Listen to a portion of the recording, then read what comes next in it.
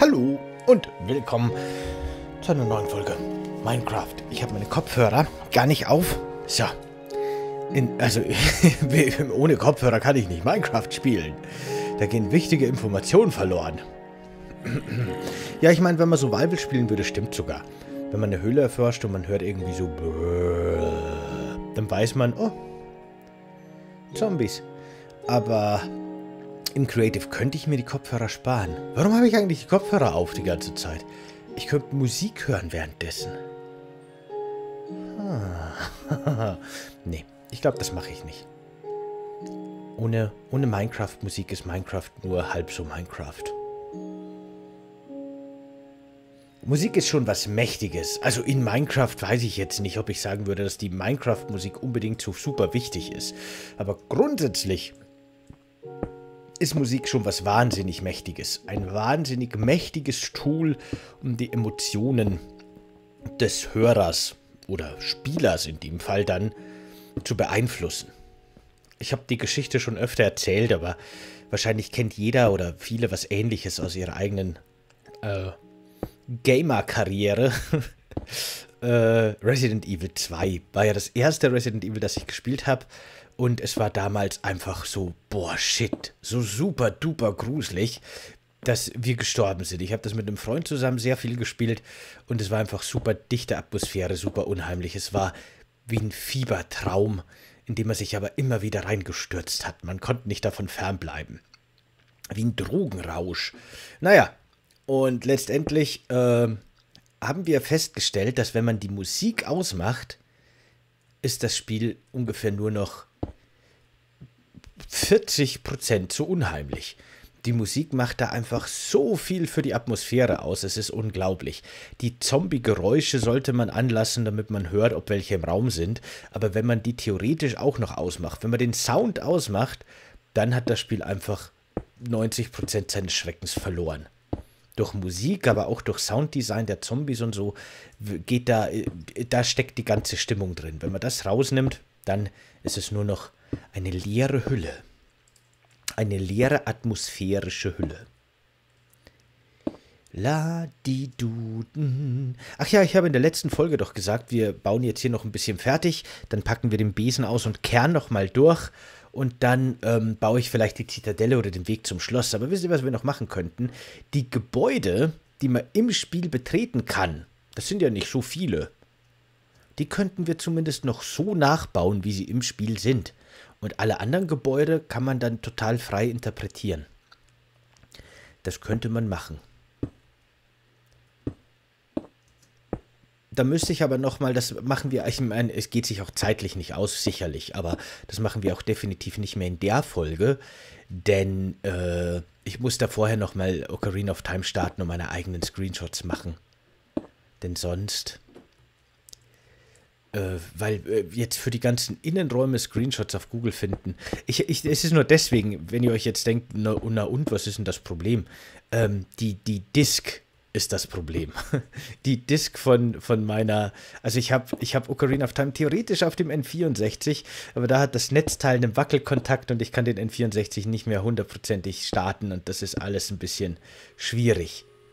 Äh, ich habe es aber auch auf dem Gamecube in der Collectors Edition das Blöde ist nur, dass da die Disk sehr zerkratzt ist. Ich weiß nicht genau, wie das passiert ist, leider. Aber die ist leider wirklich sehr zerkratzt und ich kann die echt... Also, wenn sie mal läuft, dann läuft sie in der Regel.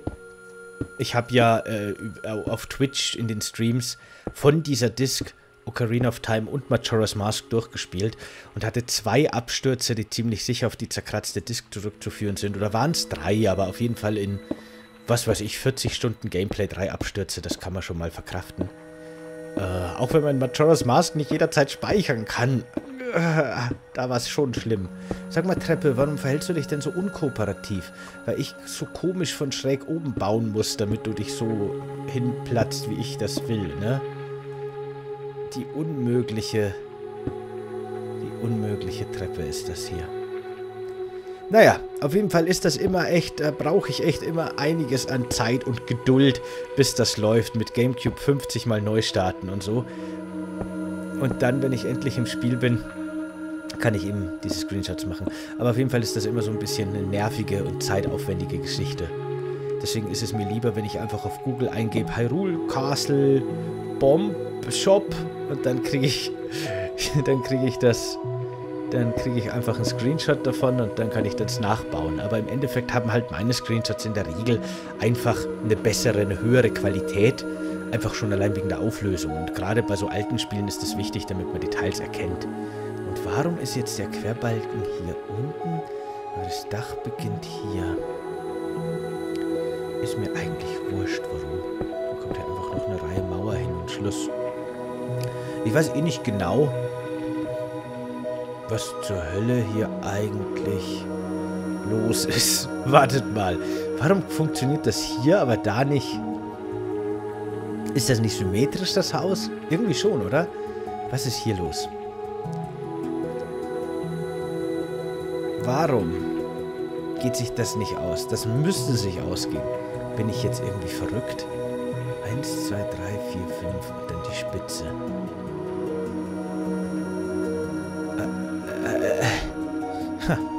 Ich bin jetzt echt verwirrt. Ich bin echt sehr verwirrt. This dangerous. Very, very dangerous. Very dangerous. Aber wisst ihr was? Ja, keiner. Das sieht keiner. Das sieht niemand im Casual-Spiel. Niemand sieht das. Okay. Hey, hey, hey. Warum drücke ich denn auch die falsche Maustaste? Was ist los mit mir? Oh Gott.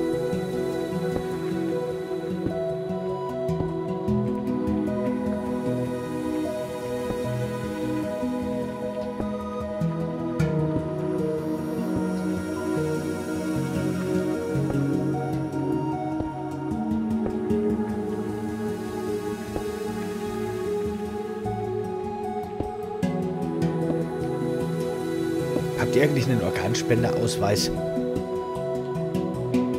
Sollte man sich echt drum kümmern, finde ich.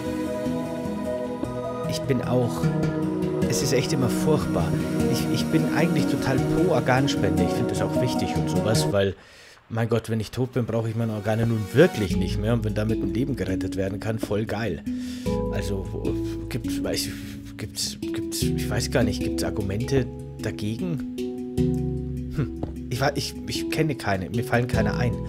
Außer vielleicht, dass man sagt, naja, ich weiß nicht, ich, ich, ich habe den altägyptischen Glauben und ich brauche meine Organe noch im Jenseits oder so. Das vielleicht, keine Ahnung. Auf jeden Fall, ähm, bin ich aber auch jahrelang rumgelaufen mit der Überzeugung, dass Organspende cool ist, aber ich hatte keinen Ausweis. Wenn man halt einfach sich drum kümmern müsste. Man müsste halt in eine Apotheke gehen oder so und muss sagen, hallo, ich hätte gerne einen Organspendeausweis und dann muss man den ausfüllen und dann muss man den immer mit dabei haben.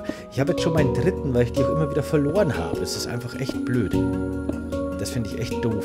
Es sollte so eine Zentralregister geben, wo man sich eintragen kann und dann ist das amtlich und dann ist man fertig mit der Geschichte. Und ansonsten, hier habe ich das schon wieder gemacht. Warum habe ich denn das hier schon wieder gemacht? So, ich hau jetzt hier alle Klötze weg. Die hier so hoch stehen. Und wir lassen nur die seitlichen und bauen jetzt da das Dach drauf. Sonst wird das hier schon wieder so komisch.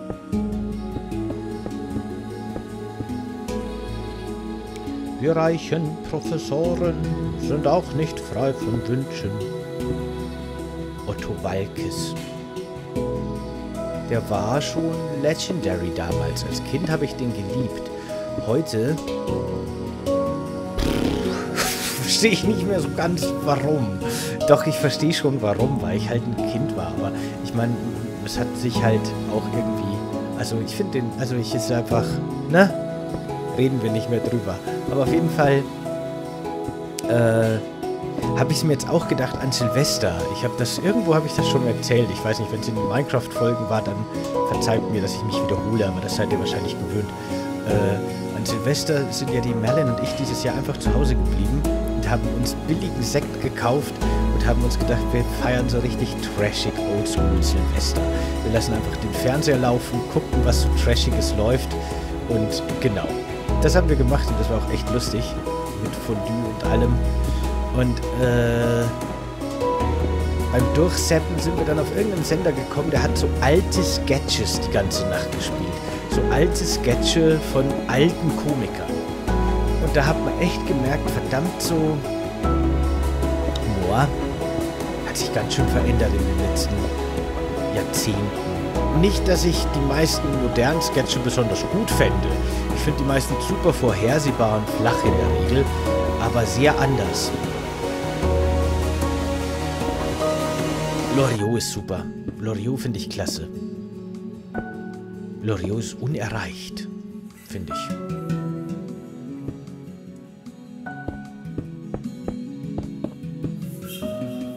Ich weiß nicht, ich weiß nicht, in welcher Frequenz Loriot seine, seine Fernsehsendung gemacht hat. Ich weiß nur, dass der mal interviewt wurde und er wurde gefragt, was er von moderner Comedy und von so modernen TV-Formaten hält. Und in dem Interview hat er gesagt, Loriot damals, das weiß ich noch, als Antwort darauf, er beneidet seine jüngeren Kollegen nicht dafür, dass sie teilweise auf täglicher Basis oder in sehr hochfrequenter äh, Frequenz neue Sketche und neue Witze sich überlegen müssen. Das war seine Antwort darauf. Das finde ich eine sehr gute Antwort.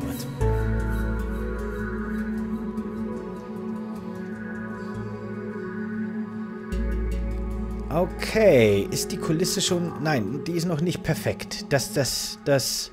Die Illusion ist noch nicht perfekt. Die Illusion sollte perfekt sein. Die Illusion sollte perfekt sein. Die Löcher sollen versteckt sein. Gut, in die Fenster darf man natürlich nicht reinschauen, sonst ist es doof. Doch guckt man in die Fenster, sieht man nur Gespenster.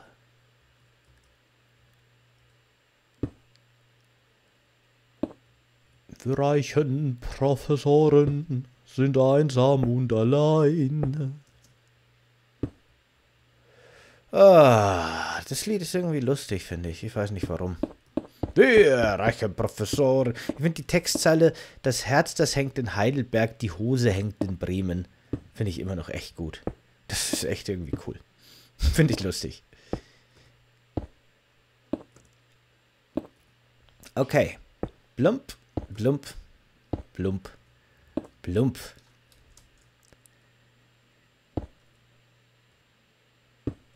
Die Merlin hasst das Lied. Nicht wegen des Liedes an sich, sondern weil ich das ständig singe. Beim Kochen, beim Duschen, beim Autofahren. Immer wieder fange ich an mit Wir reichen Professoren sind auch nicht frei von Wünschen. Ist in Hamburg mal was los, dann müssen wir nach München. Ach ja.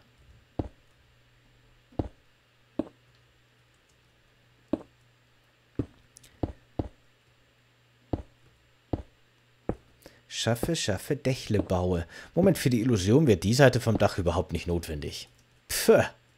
Illusion. Hä? Was? Also, ich, äh, es ist echt, ich hab's ja schon, ich hab's schon gesagt. Ich weiß, es ist noch nicht lange her, da habe ich das schon gesagt. Aber ich muss schon sagen, mit den alten Treppen, die noch nicht so coole Verformungsfähigkeiten hatten, war Bauen schon noch viel leichter.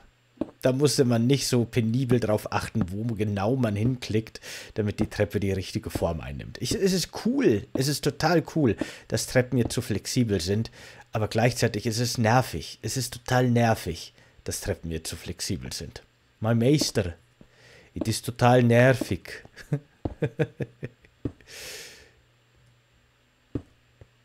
das könnte wirklich ein Dialog aus, aus Killer 7 sein, denke ich mir gerade. Mein Meister.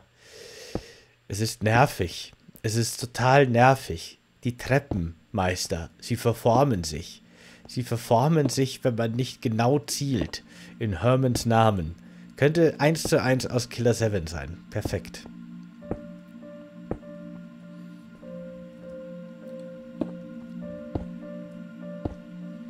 Illusion? Piu. Illusion. Perfekt. Geil.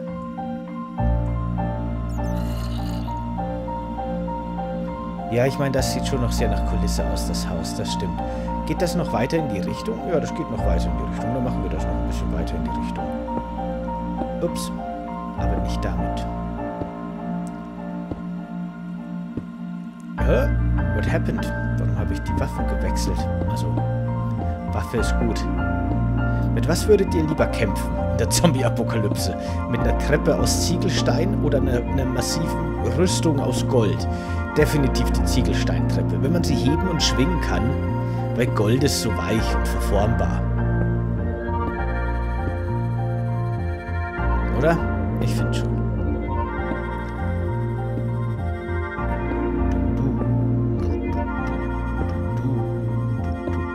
Minecraft ist schon faszinierend. Minecraft ist ein Gamechanger gewesen. Minecraft ist wahrscheinlich das einflussreichste Spiel seit keine Ahnung. Seit Ocarina of Time. Haha, vielleicht gar nicht so falsch. Ähm, was Minecraft, dass Minecraft im Grunde sein eigenes Genre erzeugt hat. Und von, von eben von Minecraft über Ark bis jetzt eben zu Fallout 4 im großen AAA-Bereich sehen wir einfach überall die großen Einflüsse von Minecraft.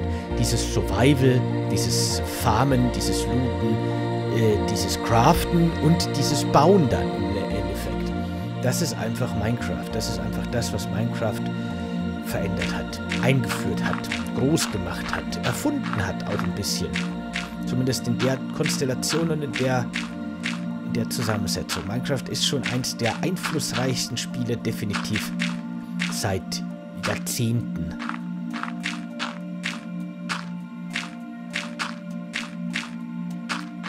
Weil ich meine, man könnte zum Beispiel auch sagen, dass Players Unknown Battleground ähnlich äh, Wellen geschlagen hat. Das ist, das ist eine These, die kann man absolut so aufstellen.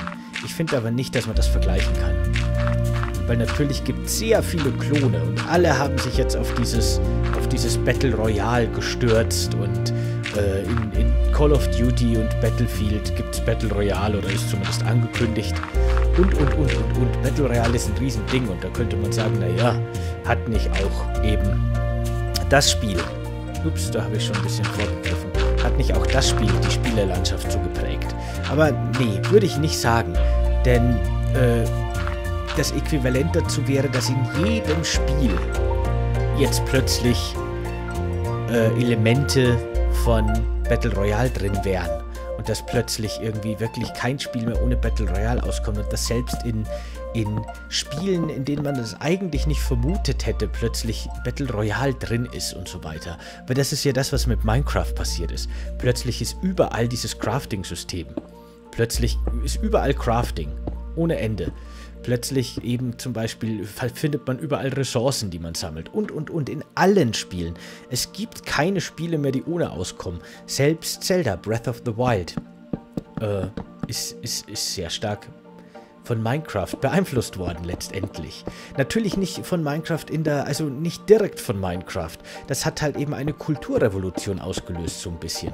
Das hat einfach eine ganz neue Art von Spielen ausgelöst und eine ganz neue Art äh, Spielmechaniken zu implementieren.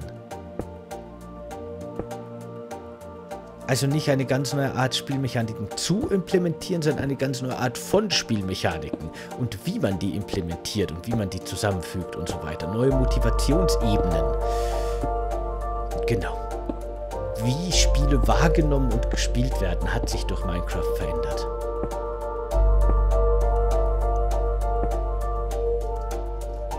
Und dabei ist das alles eigentlich mindestens so alt wie Bauklötzchen.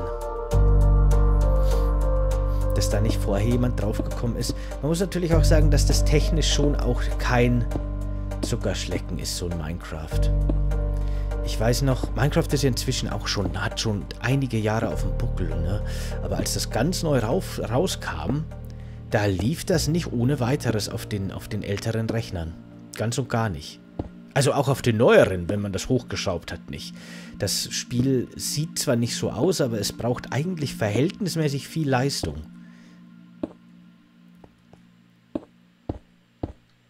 Ich meine, mittlerweile ist es, glaube ich, wahrscheinlich kein... Also ist es wahrscheinlich nicht mehr so anspruchsvoll, das Spiel. Aber damals, als es rauskommt, war es schon eine ordentliche Portion Rechenpower, die man gebraucht hat, damit man das Spiel ordentlich spielen kann. Wobei man konnte auch sehr viel damals schon sehr viel einstellen, damit es eben weniger Ressourcen verbraucht. Wenn man die Grafik nicht auf fancy gestellt hat, sondern auf äh, nicht fancy, wie auch immer. Wenn man die Wolken ausgeschaltet hat und die Distanz des Renderns bzw. die Sichtweite reduziert hat, dann konnte man da schon ganz schön was machen. Aber grundsätzlich war es trotzdem immer erstaunlich, wenn man das Spiel, wenn man es sieht, wird man nicht glauben, dass es so wahnsinnig viel Leistung braucht. Vielleicht war sowas wie Minecraft einfach auch ein Kind seiner technischen Möglichkeiten. Einfach. Also vielleicht wollten, also das Konzept ne, gab es vielleicht schon öfter, aber es war noch nicht umsetzbar bis zu dem Zeitpunkt. Nicht in dem Ausmaß zumindest. Könnte ich mir schon vorstellen. Dass man das nicht unterschätzen darf. Da, da, da, da. Düden, die Dudel. Ich hätte jetzt gerne Apfelstrudel. Yeah. Oh, jetzt haben wir hier wieder die tödlichen Todestreppen der, des Todes. Oh, aber so geht's ganz gut mit den tödlichen Todestreppen. Der Nervigkeit.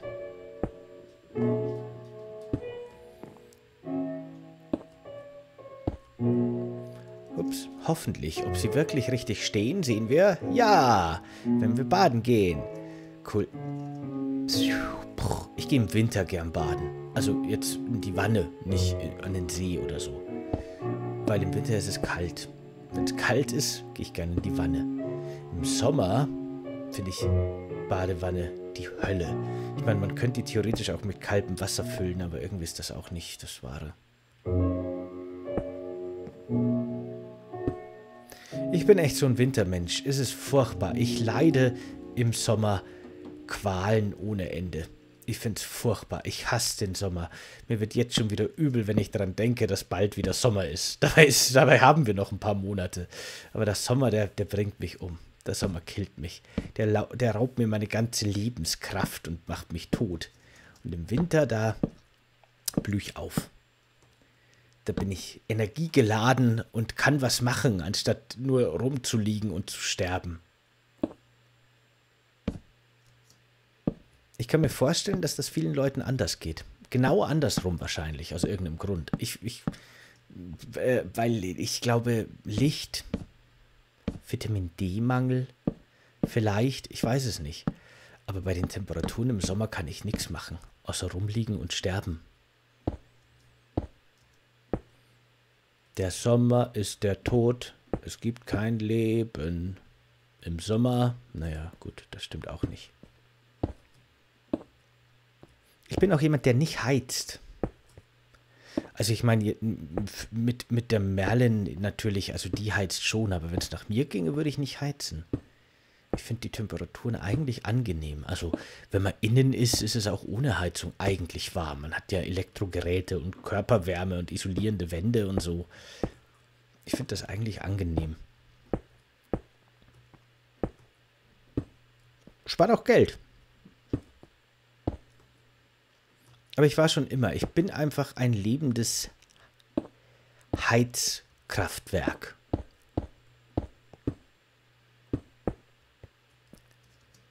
Ta -ta -ta du, du, du. Fertig.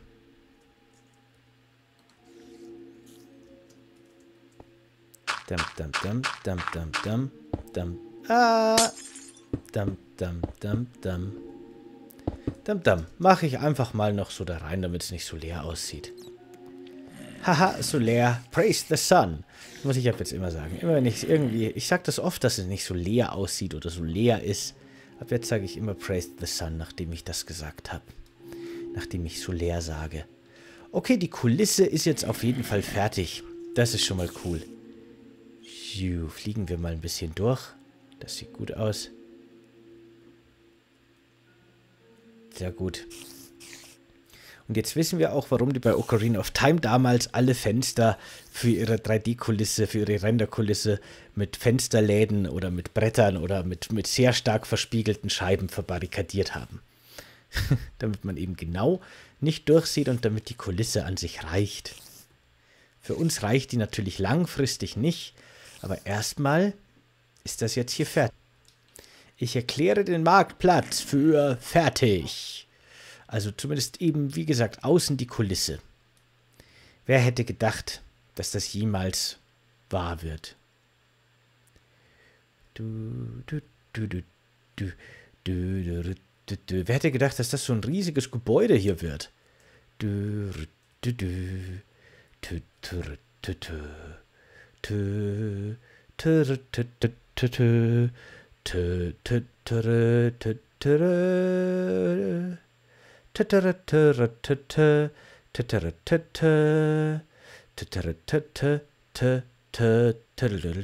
das war der, der Marktplatz, zumindest die Kulisse ist fertig, Siegeshymnen-Song. So Leute, coolio. Dann würde ich jetzt sagen, machen wir Schluss für heute. Morgen ist auch noch ein Tag an dem ich Minecraft spielen mag. Schönes Gedicht. Macht's gut. Bis dann. Ciao.